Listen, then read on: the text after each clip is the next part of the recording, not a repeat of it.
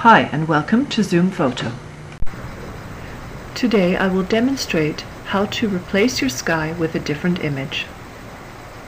Let's start by going to the Layers palette, copy your background layer, and minimize your Layers palette. Now we'll go to the sky image that you plan to use, click on your rectangular marquee tool, and select the portion of the sky that you plan to use. Control C to copy,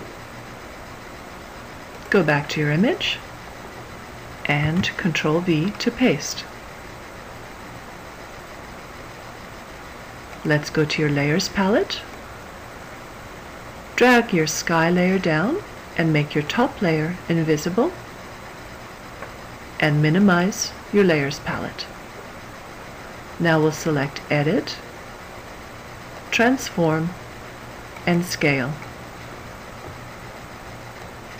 Now you can scale your sky layer to approximately match the size of the sky you plan to cover and hit enter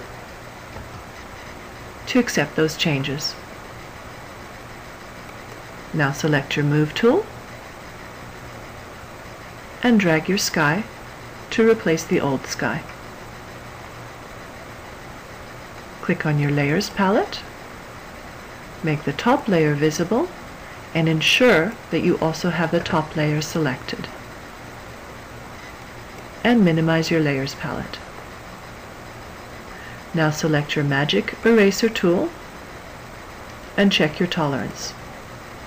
A lower tolerance will erase only those pixels that are very similar in color to the pixel you've clicked.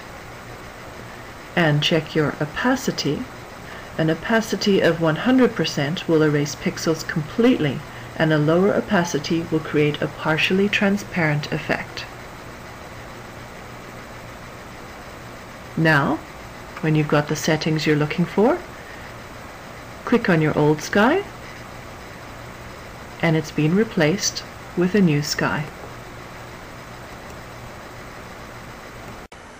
For more information about digital editing and photo techniques and inspiration, please visit zoomphoto.blogspot.com.